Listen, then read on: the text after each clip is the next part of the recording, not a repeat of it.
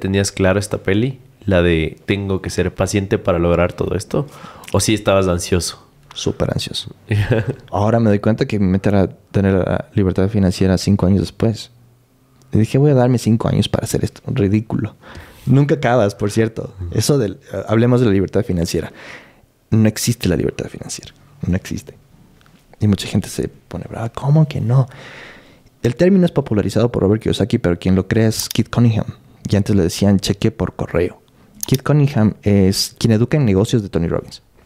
Entonces, así es como lo encuentro, como de chiripa. Y resulta que él, es, en realidad, junto con otras dos o tres personas, es padre rico. Robert habla de su, de su tío en Hawái, no sé qué, que sí hizo un par de cosas y, y, se le fue bien. Pero si tú indagas en lo que dice en el libro, este es un pedazo de John Burley, eh, Mina Raíces, este es un pedazo de Keith Cunningham, es, tiene como, es un Frankenstein de unas 10 personas. Yeah. Entonces termino con Keith Cunningham. Y ahí Keith me dice, o, o enseñaba a leer estados financieros. Digo, yo necesito leer estados financieros porque yo veo, y tenía un título en finanzas. Yo veo estados financieros y digo, veo un montón de fórmulas. O sea, no cacho. Es como leer libros en el colegio. No cachaba. Entonces digo, ¿cómo veo la película? Porque había escuchado que gente ve, ve estados financieros y ve la película. Y me quedaba, ¿cómo se hace eso? Me tomó full años entender eso. Pero cuando me crucé con Keith Cunningham, él me enseñó porque te explica como niño chiquito. Y te dice, eh, el balance es este, los ingresos son estos, y el flujo de caja es esto, y esto hace esto, y esto por esto. Ah, es como que alguien me prendió el foco.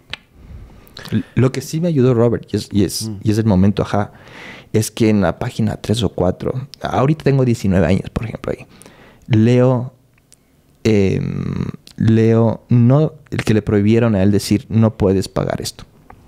Y le dicen, pregúntate cómo puedes pagar eso. Y ese rato eh, algo se aprendió en mi cerebro, porque yo me daba cuenta que la conversación en mi cabeza era súper negativa. Y ahora, no todo. Y digo, eso no me está funcionando. Ese fue el, momento, ajá, que digo, ok, ¿cómo voy a hacer esto? En ese entonces conozco una, una gringuita con la que eventualmente me casé. Y el problema era que era gringuita, estaba estudiando español aquí, y nos enamoramos, profundamente enamorados. ¿Cómo se hace? Me voy allá, me vengo acá, pero me acordaba siempre de esa lección.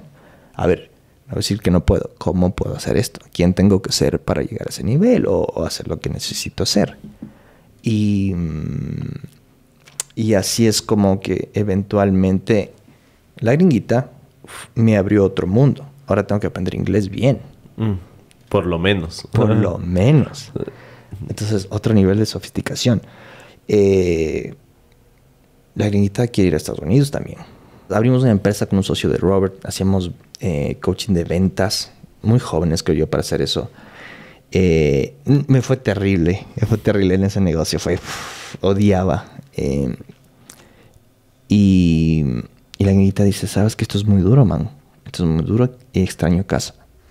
Y quiero, quiero irme un rato ya. Quiero sacar mi masterado en educación. ¿Estabas casado?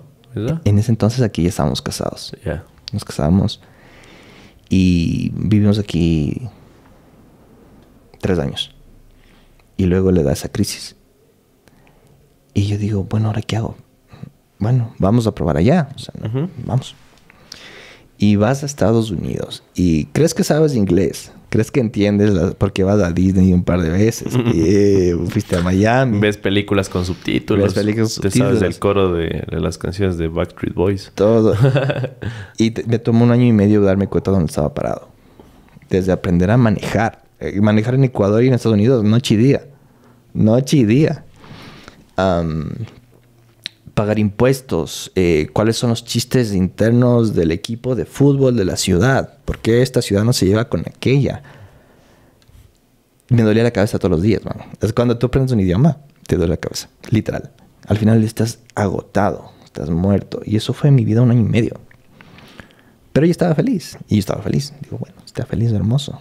Y ahora inicia ya desde cero. Viene raíces, digo, bueno, vamos a ver raíces.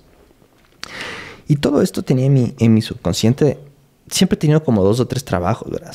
No sé, hiperactividad o no sé, no sé qué, qué pasa, pero el tema ha sido que le meto un montón de esfuerzo. Cuando alguien me conoce, no sé qué, qué impresión se llevan, porque, claro, me ven farriendo en la noche o de viaje. Lo que no saben es que en el avión estoy leyendo o antes de irme a la fiesta estuve trabajando y ya no da mi espalda, entonces tengo que salir a hacer algo porque si no... Em, pero siempre estoy trabajando y siempre estoy pensando en eso, por eso soy tan distraído. Y te contaba la historia que la gringuita me dice una vez, ¿de qué color son las paredes de nuestro cuarto? Y vivíamos ahí tres años. Yo no sabía. Y es porque siempre estaba pensando en, ok, tengo que esto o aquello, no entiendo. Entonces, pero la ventaja de eso es que el conocimiento es, es compuesto.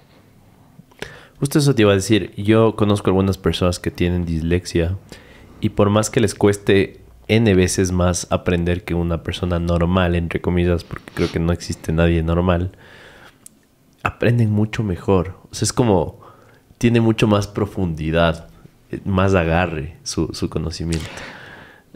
Me, explico, por, por, ahí va. Yo soy buenísimo para ver patrones. Yo te veo patrones así. Y te costó un montón, te costó claro, más de una década de tu vida. Claro. Imagínate, claro, pero es por eso. Alguien viene y me da un problema y yo sé por qué. Ah, ok, es por acá. Pero ya inmediato, clac, clac, porque yo he fregado tantas cosas en mi vida, me ha costado tanto. claro, pero, pero tienes que conocer toda profundidad. exactamente. Y eso me da una ventaja competitiva en, digamos, en inversiones. Porque no puedes entrar a invertir así, ah, llegué, pa, compramos esta casa. Tienes que saber las leyes, tienes que saber los impuestos, de todo. De todo. Em, empezaste a contarme que te metes en el mundo de bienes raíces en Estados Unidos. Ahí, ahí van dos preguntas para ti. La primera es, ¿qué tan diferente son las bienes raíces en un país como Estados Unidos versus Ecuador? Y la otra es, eh, entiendo que tienes algunos activos financieros, algunos activos en bienes raíces. Pero hubo una época en la que no tenías nada. Y yo mm. creo que para el ecuatoriano de a pie, eh, incluso luego de haber leído Padre Rico, Padre Pobre, es difícil concebir que puedes salir de esta rueda del hámster en el cual has pagado una vida entera un arriendo y jamás vas a tener tu casa. Ajá. Entonces, esa es como la otra pregunta. Mm. ¿Cómo se hace eso? En, en, lo, resumido que le puedas hacer, ¿no? Que puede durar una hora entera, ¿no? Pero mm, por ahí va. La respuesta corta es networking. Y si tú no tienes capital, tienes que aprender a alzar capital. Y la única razón por la que alguien te va a dar capital es porque eres una persona que dice lo que hace y hace lo que dice. Pueden confiar en ti. Eres íntegro. Eres, tienes integridad. Y segundo, sabes lo que haces. Entonces, ahí viene el huevo la gallina, ¿no? Em, ¿Cuántas negociaciones de bienes raíces como estas has hecho antes? Ninguna. Entonces tienes que conseguir un trabajo que te eduque en ese tema.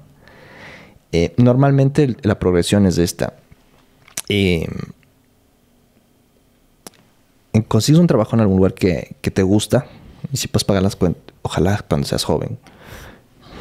Si no tienes que mantener hijos, se te cierran un montón de oportunidades. Y aprendes lo que quieres o necesitas. Y si te gusta, vas subiendo y eventualmente ya puedes hacer lo tuyo. Entonces, hay que tener claro que cualquier negocio te va a tomar en promedio siete años.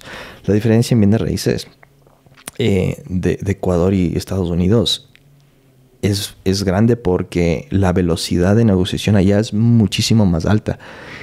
En Ecuador el promedio de vender una casa es tres años. En Estados Unidos tres meses. Imagínate. Entonces, y justo hace como un mes estaba haciendo un mea culpa. Estaba una, una retrospección de estas cosas. Y resulta que yo en el 2011 compré unas propiedades de acá. Eso sí fue una historia, o sea, yo súper... Em, yo pensando, ya veré cómo hago el financiamiento. Llego a una propiedad y produce unos 3 mil dólares al mes. Y, y, el hombre pedía 150 mil. Y yo digo en mi cabeza, eso es un retorno alto. No tiene parqueaderos, bueno, tiene sus problemas, está bien digo, vamos a ver, entonces me voy a negociar.